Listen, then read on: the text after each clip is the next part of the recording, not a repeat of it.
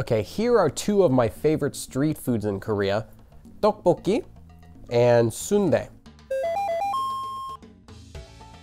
So what comes with tteokbokki is a kind of spicy sauce which is made with, you know, corn syrup, ketchup, a few ingredients like that as well as water. So it's pretty spicy though there are different varieties, some which are sweeter and some which are spicier. And it's called tteokbokki because you've got in there tteok, which is rice cake, and bokki, which means kind of like to pan fry something.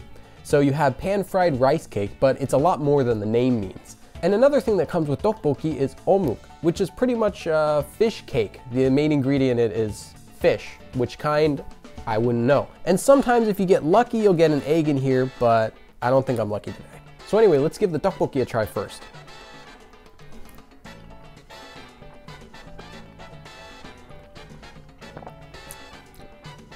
Hmm. This kind isn't really that spicy. Hmm.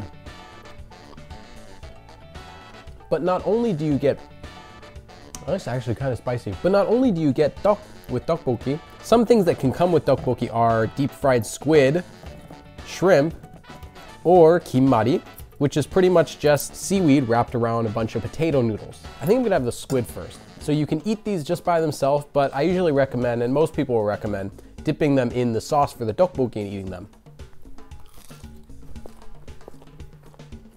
Hmm. If you're a fan of fried seafood, this is especially great. So next I'm gonna go on to sundae. Sundae is my favorite food in Korea. Now the way to make sundae doesn't sound very appetizing. Basically you take animal intestine and on the inside you fill it with noodles as well as well, blood but it actually tastes really good. I've heard some people say that it's similar to like a blood sausage. Maybe it's an acquired taste, but I love this food. You can eat it by itself. You can also eat it by dipping it in some salt. My favorite way is you can eat it by dipping it in with tteokbokki sauce.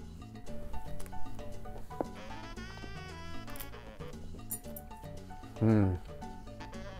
It's just the combination of the flavor of it, the texture of the noodles, and the light hint of salt that makes this perfect. So anyway, these are a couple of my favorite street foods in Korea.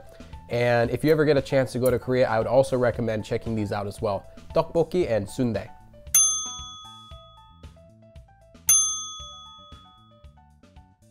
그럼 다음에 또 봐.